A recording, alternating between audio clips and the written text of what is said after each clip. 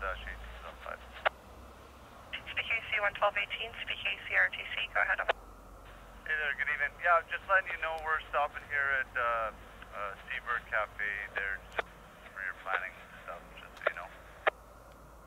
Okay, sounds good there. Yeah, kind of what I'm going to be tentatively doing right now here is so um, the CNC 732 who just came across the bridge, they're just uh, east of right now. CN has a crew for those guys at 2010, and then their next crew available is until 2120, which would be for the X310 that's at Ruskin right now. Um, so what I'm kind of thinking, um, again, this is tentative, is having you guys go after the 732. Um, but again, I say call the CNRTC back in probably about another 10, 15 minutes here. Uh, they just had to talk to their side just to make sure that the 2120 crew